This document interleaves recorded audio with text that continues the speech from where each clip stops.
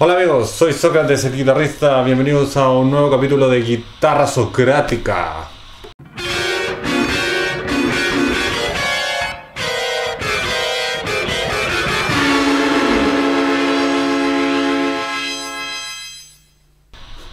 Hola amigos, bienvenidos al último capítulo de Guitarra Socrática, sí, es el último.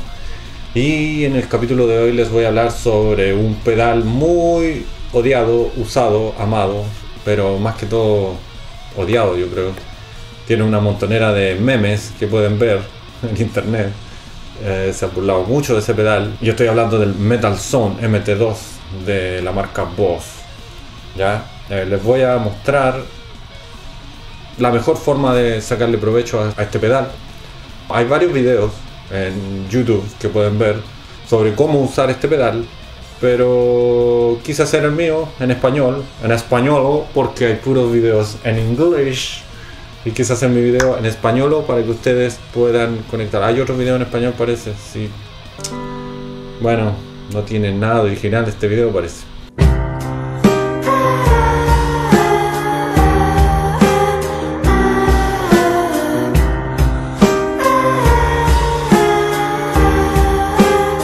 Pero sí tiene algo original que soy yo el que les enseña esto. Entonces les voy a mostrar la mejor forma de sacarle provecho al Metal Sound. Y vamos a empezar viendo los controles y algunas cosas de este pedal. Vamos. Ok amigos, les voy a explicar rápidamente cómo funciona este pedal.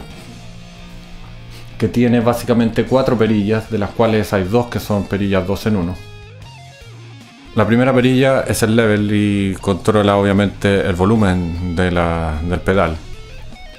Después tiene una perilla, tiene una perilla 2 en 1. La perilla 2 en 1 eh, en realidad es una perilla interna y otra por fuera. Entonces son dos perillas las que se pueden mover ahí. Esta perilla por adentro trae el high y por afuera trae el low, que son las frecuencias bajas y la frecuencia aguda, el high obviamente. Después tiene una perilla que dice middle y middle frac. Por al medio, o sea, la perilla del centro es un, es un middle y la perilla de afuera controla en realidad la frecuencia que nos estamos situando, que estamos controlando con la perilla del medio.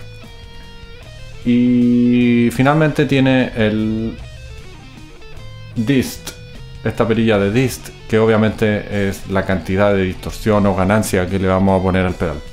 Este es mi sonido limpio.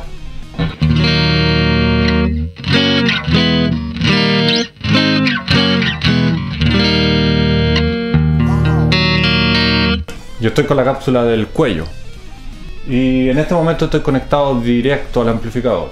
Mi guitarra es el cable rojo, el Metal Zone y luego directo al amplificador. Y suena así.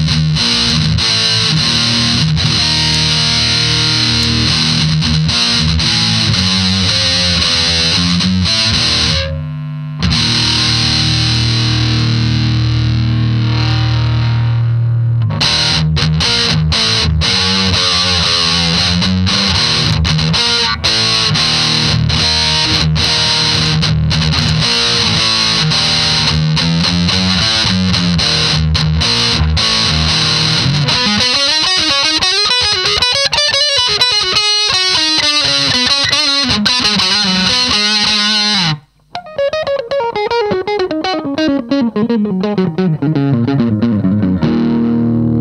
realidad es un efecto que suena bastante, pero bastante agudo. Si se fijan acá lo tengo con todos los agudos suprimidos, porque suena muy, muy agudo.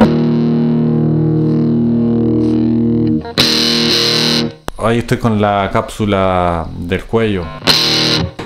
Suena súper agudo.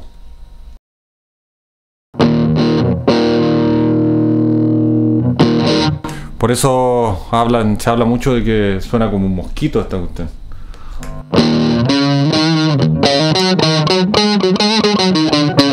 Pero ese sonido, por ejemplo, está yo lo encuentro bastante aceptable. No sé qué opinan ustedes. Dejen su comentario.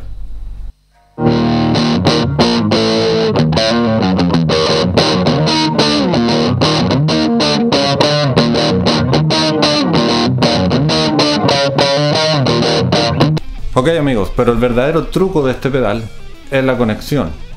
Si tú conectas este pedal directo a tu amplificador, va a sonar como les mostré recién, que parece un, mosquito, súper agudo, súper eh, desagradable en realidad el sonido.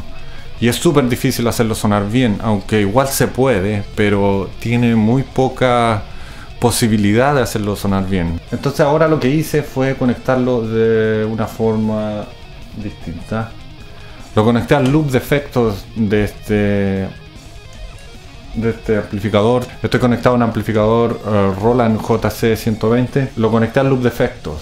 Esto que estoy haciendo con una distorsión es algo que no es muy común en un loop de efectos. En general uno no conecta distorsiones a un loop de efectos. Se conectan otro tipo de efectos como reverb, chorus, delay, efectos de modulación, de ese tipo de efectos, pero no una distorsión. Hay que activarlo primero.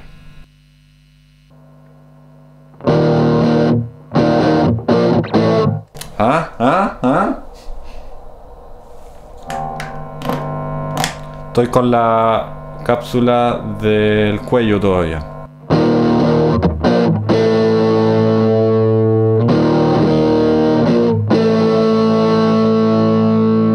Está con la misma configuración que lo dejé delante, donde sonaba más o menos aceptable. Le vamos a cambiar algunas cosas para que vayan escuchando.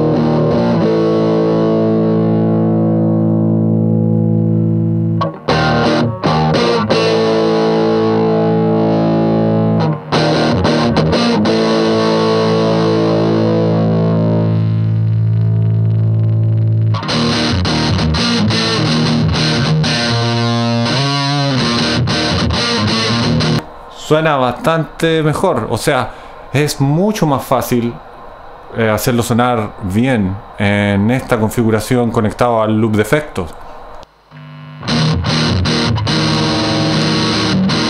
La pregunta es, y yo lo vi en el manual, pero en el manual debería decir de que este pedal que estaríamos funcionando ahora como un preamplificador, debería decir de que tenemos que conectarlo al loop de del amplificador. Pero no dice nada. Las conexiones en el manual sale de que hay que conectarlo directo al amplificador. Eso es importante porque no sabemos qué intentó hacer el fabricante Boss con este pedal. Si realmente lo, eh, estaba pensado para conectarlo al loop de o en realidad, eh, no sé, imprimieron mal el manual, no sé en realidad. Pero si, si tienen este pedal, no lo tiren por la ventana, ocúpenlo en el loop de efecto y les va a sonar mucho mejor. Voy a jugar un poco con los seteos para que vean, para que escuchen, para que escuchen cómo se escucha.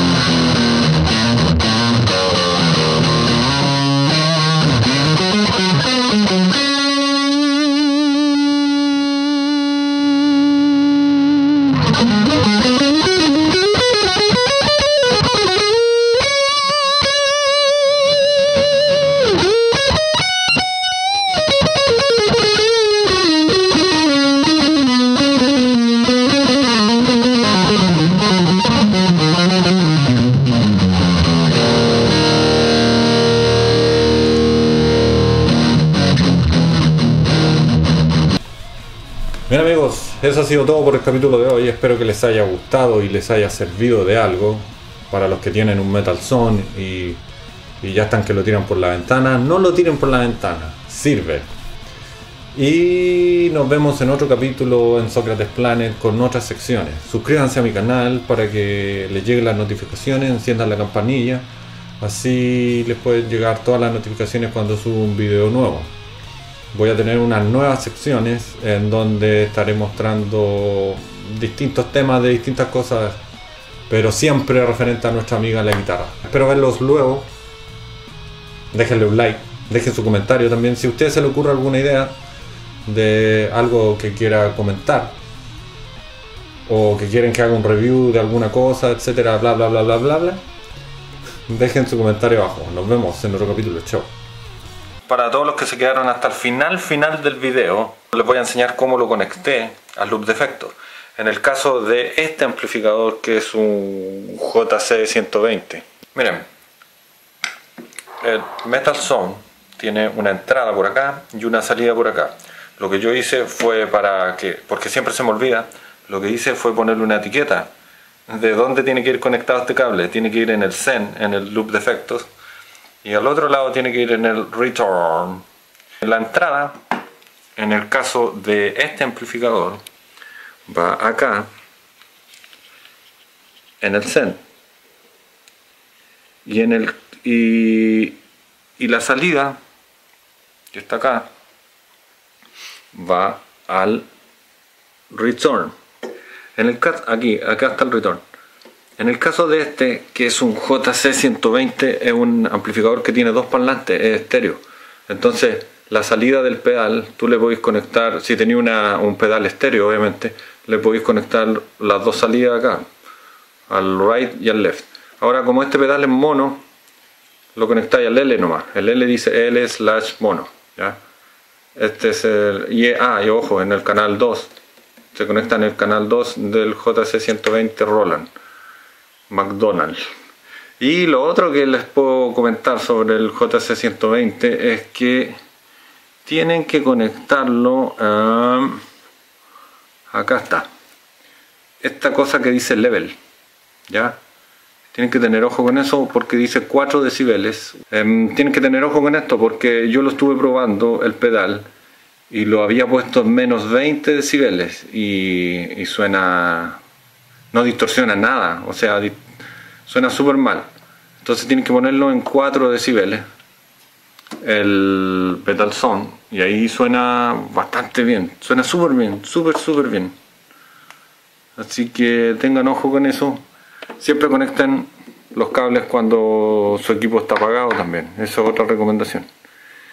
Y nada más, eso sería conectarlos bien en el L de mono en el Zen, el Return L mono y ponerle 4 decibeles en el level.